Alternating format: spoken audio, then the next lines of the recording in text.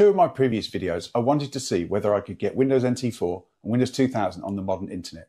And in both cases, there was reasonable success. The next logical step was, can I go further back in time and get that almost forgotten operating system, Windows NT 3.51 on the internet? It did support TCP IP, which is all we need to get testing. Let's dig into perhaps one of the most forgotten moments in Microsoft's operating system history. Windows NT 3.51 on the modern internet. In Windows NT 3.51, networking wasn't discovered automatically. There was no plug and play. That means manually specifying IRQs and IO addresses. Windows NT expected you to know your hardware configuration. Here I opened the configuration for the network adapter, a 3COM Etherlink 2. Its settings are entered explicitly IRQ3 and an IO address at hex 300. These values would have matched the settings configured in the BIOS or on jumpers. Inside 86box, my emulator, the same process applies. Under the network card's configuration, the IRQ and IO address are set manually. These values must mirror what was defined in Windows NT. The ability to mimic exact hardware is the reason I chose 86box for this virtualization. Back in Windows NT, the adapter configuration is closed and the TCP IP protocol is selected. From here, the DNS settings are entered manually. I use Google's public DNS servers 8.8.8.8 because old habits die hard and I've been using them for years when I need a quick and easy public DNS. To test the configuration, I open main program manager and then command prompt. ipconfig confirms that we have an IP address from the SLiRP configuration in 86box. The ping to Google's DNS servers confirms internet connectivity and a request to youtube.com returning a reply shows that DNS recursive lookup is working. I then turn to an aspect of the internet that's almost forgotten today, the news group. These discussion forums were distributed globally via Usenet, a decentralized system that predated the web where messages were replicated from server to server rather than hosted in a single place.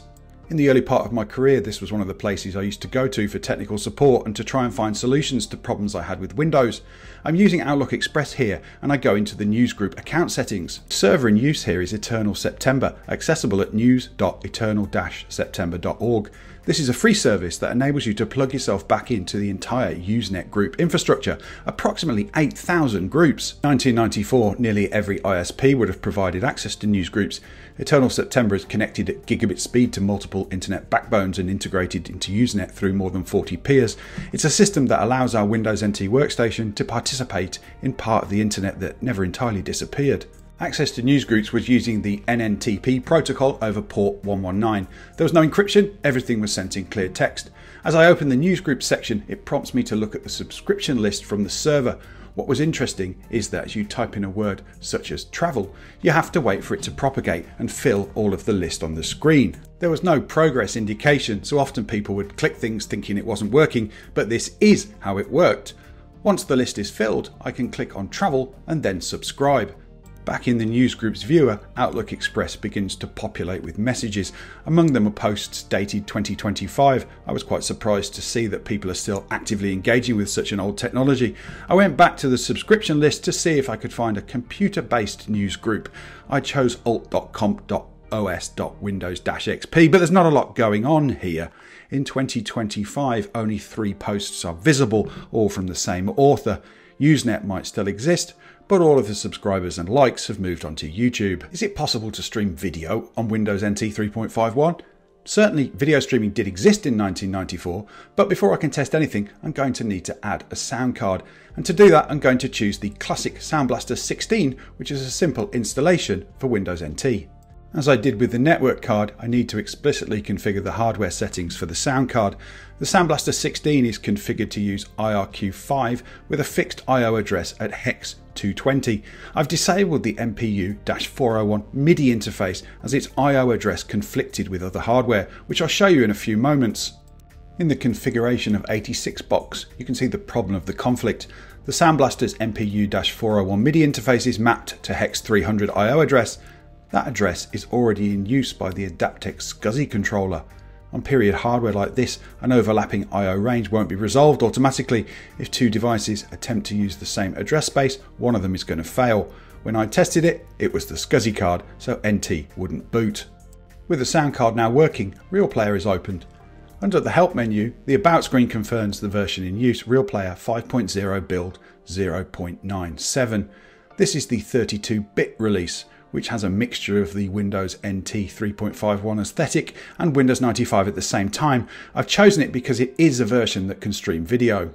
On my MacBook Air, I use FFmpeg to convert shot16.mp4 into a real player format. This uses a lower bitrate of 60k and 120k for the buffer size. In RealPlayer, I open the location of the RM file which I've hosted on my Mac using a Python HTTP server.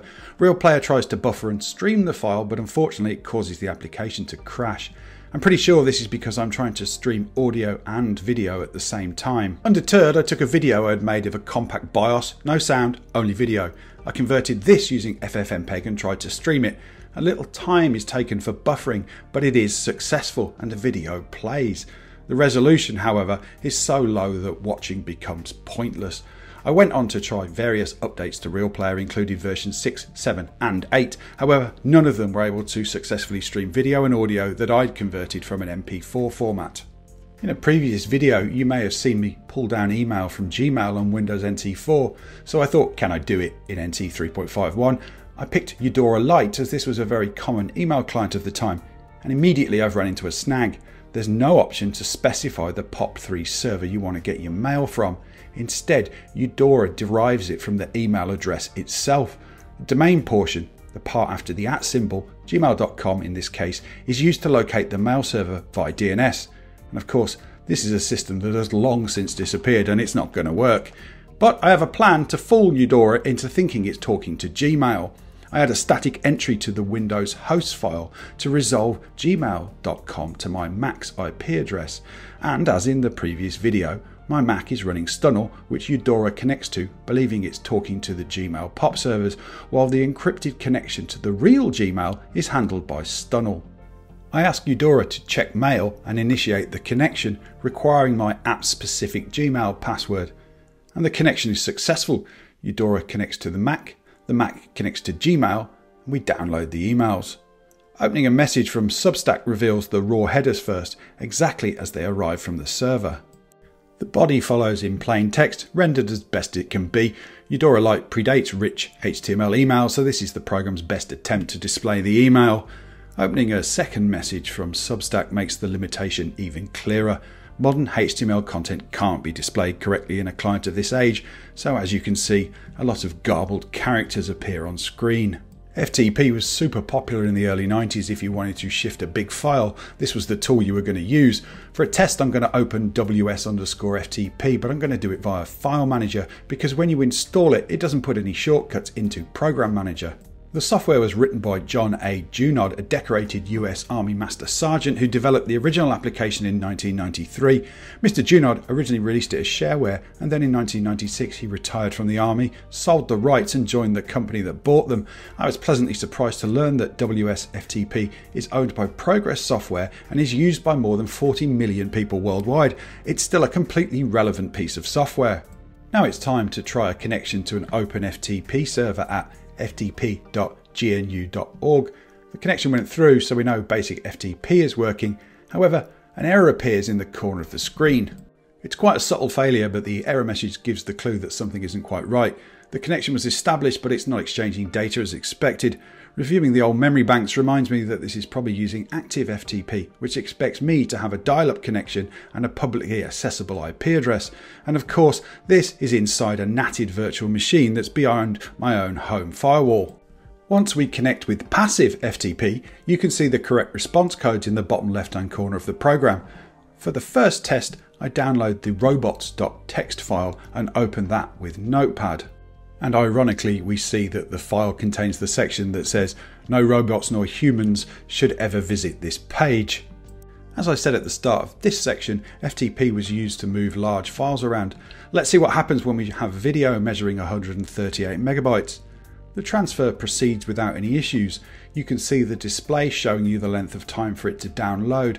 I really liked these interfaces that showed you what was happening. It meant you felt more engaged with the whole process. I didn't dig too far into the world of FTP servers, but I'm pretty sure that you could fully operate FTP using Windows NT 3.51 like you do today. Based around the POP3 protocol, Eudora Lite did pretty well with the email. If it had features for SMTP authentication, I believe it could have sent mail as well as received it. Newsgroups appeared and operated almost exactly like they did in 1994. And that took me right back to the very beginning of my career and dipping my toe into the myriad of newsgroups on Usenet. If you watched any video online back in the mid to late 90s, Real Player was often the application that was used to stream live radio. And once I got my own MP4 into the correct format for Real Player, you can see that it streamed a modern recording. FTP, although created back in 1971, still holds its own and is still in use today, although it's been replaced with SFTP, which uses SSH for security. Windows NT 3.51 is a rather forgotten operating system, and that's a shame. It was early in my career. I was working in 1996, moving 3.11 for work groups over to 95, and 3.51 was found more in the corporate world. I do remember when I used to go down to the Halifax Building Society on New Street in Birmingham, that was the operating system they had on the front desk. If you've never used this, I'd thoroughly recommend getting 86box out and putting together a virtual machine of your own. It's a lot of fun to have a look around something that's near 31 years old. And if you're interested in how to do that, I'll be publishing a Substack article to show you how I did it. As ever, I really appreciate all the subs, likes and comments. Keep them coming. And I look forward to seeing you on the next video. Ta-da!